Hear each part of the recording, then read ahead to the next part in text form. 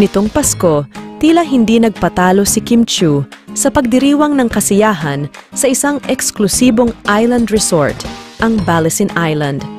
Kasama ng aktres ang kanyang mga mahal sa buhay sa nasabing lugar, kabilang ang kanyang mga kapatid at mga pamangkin. Matapos ang matinding pagsubok ng kanyang puso sa long-time relationship kay Zian Lim, na nagtapos ng labing dalawang taon, makikitang itinuon ni Kim ang kanyang oras at pansin sa pamilya. Sa kabila ng naganap na malungkot na hiwalayan, isang makulay na selebrasyon ang inihatid ni Kim para sa kanyang sarili at sa mga mahal sa buhay. Sa mga larawan na ibinahagi ni Kim sa kanyang mga social media accounts, kita ang masayang mga ngiti ng pamilya Chu habang naglalaro at nag-i-enjoy sa kagandahan ng Balasin Island.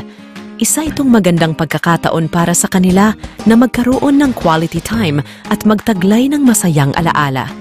Hindi lang si Kim ang nagpahayag ng kasiyahan sa mga larawan, bagkus pati na ang kanyang mga pamangkin.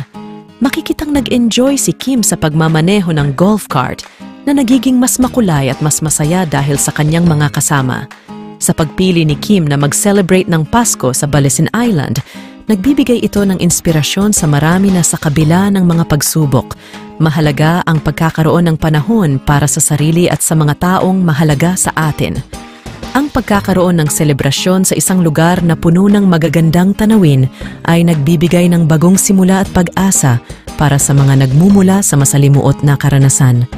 Sa mga simpleng bagay na tulad ng pagpapahinga sa isang magandang isla, maipapakita natin ang ating kakayahan na bumangon at magpatuloy sa harap ng mga pagsubok. Saludo tayo kay Kim Chu sa pagiging positibo at sa pagpapahayag ng kanyang sariling paraan ng paghilom at pagbangon. Sa nalalapit na bagong taon, muling nagpapasalamat tayo sa mga aral ng nakaraan at umaasa sa mas marami pang pagkakataon ng pag-usbong at pag-asa. Mabuhay ka, Kim Chiu, at sa lahat ng mga nagsusumikap na maging mas maligaya at mas matatag sa harap ng hamon ng buhay.